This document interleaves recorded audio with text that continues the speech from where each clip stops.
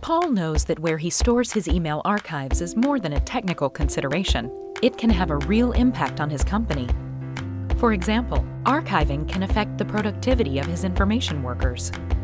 They often reference email from the past, and they don't want to wait for it. That means Paul needs to include access to archived data to meet his availability requirements. With Exchange, information workers can work with items that are archived or under hold as easily as they do with standard inbox items. Paul also has to consider his IT resources. Every application his team has to deal with means more work, training, cost, and lost productivity. With Exchange, they can manage everything through one familiar interface, regardless of where data is stored. Flexibility is important to Paul.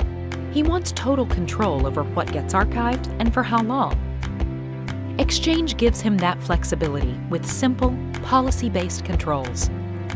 He can even choose to put his archives in the cloud using Exchange Online Archiving while delivering virtually the same experience for IT and end users as an on-premises archive with less cost and complexity.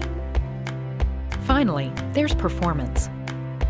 With a third-party solution, it would have been tempting to put archives on aging hardware, but that could have made e-discovery slow and difficult.